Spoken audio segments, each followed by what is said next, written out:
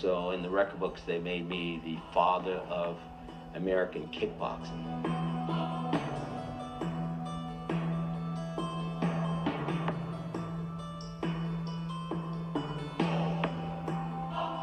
I actually won seven different world titles, but I only claim one. Once you're a world champion, what difference does it make whether you're a 20-time world champion or a one-time world champion? I am proud of this fact. I'm, I was the first martial artist in the world to win a world championship in two different sports. I won a world title in karate and also kickboxing. Now I won seven different titles. Some of them were amateur titles, some of them were professional titles, some of them were uh, no no holds bar, like you could throw elbows.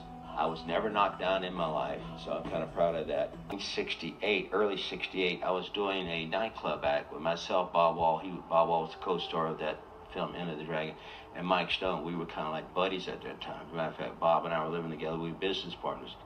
At the end of each nightclub act, Mike Stone and I would do a little demonstration karate match. And then I noticed his style had changed. And he started telling me he was working out with this Chinese guy named Bruce Lee. And he said, uh, Bruce Lee wants to work with you. You should go down and start taking lessons with him, private lessons with him. So eventually I took his advice and uh, Bruce Lee and I got in contact with each other. And once a week I would go there and take a private with Bruce and spend the whole rest of the week working on what he would show me. And it actually, in a great way, improved my fighting style.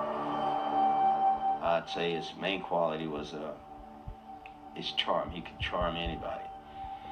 Uh, here's, here's a typical example. I, every day I'd walk into his house. First thing he had to do was, um, Chuck, Philman's coming, Philman, that's yeah. And they go, ah, ah, here, Philman for. He's like, showing. He always had to show some part of his body he's working on. I remember one day he picks up a 75 pound barbell. He locks down in position, in standing position, starts on his chest, he sticks it straight out like this, slow motion. But holds it, sustains it. Try it. Try it with half that weight. And then you know what 75 pounds feels like. And I know guys who can uh, bench press 500 pounds. They can get it out, but they can't hold it. They'll go like this.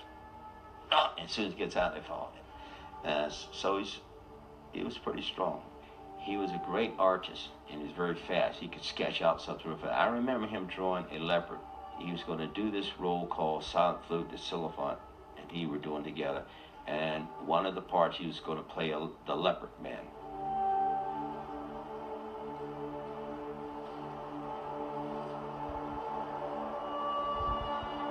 And leopard man does movements like a leopard. So, for example, if I'm going to throw a strike like a snake, I'll make a hand like a snake, and I move it like a snake. See?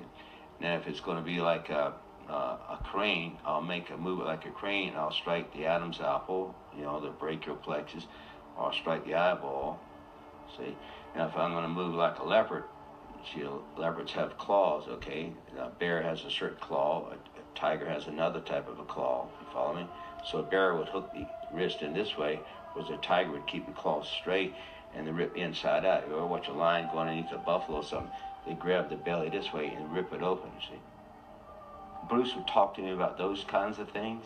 Now, although I was already an amateur uh, world champion and a two-time national champion before I started work with Bruce, I think he helped accelerate my career, helped me defeat all the top guys in competition at that time.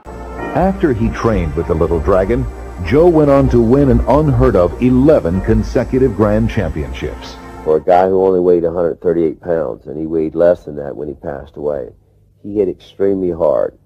He could hit as hard as a heavyweight. He had real fast uh, twitch muscle fibers, something he's born with. He trained hard. He worked on a lot of his stabilizer muscles. And especially his speed. I always thought he was like the fastest guy who ever stood in front of me.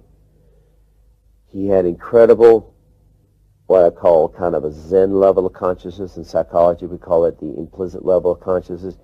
You didn't know when he was going to squeeze that trigger. And he always knew when you weren't ready. He had blinding speed, especially with his hands.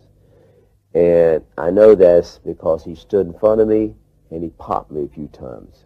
So I've always told people, I know how hard Bruce Lee could hit. I know how fast he was because he nailed me. And uh, I've always told people, I know what real Jeet Kune was because I got popped with it. I considered him by far the greatest. And for those who don't consider him the greatest, at least he would be the top candidate for being he who would actually be the greatest.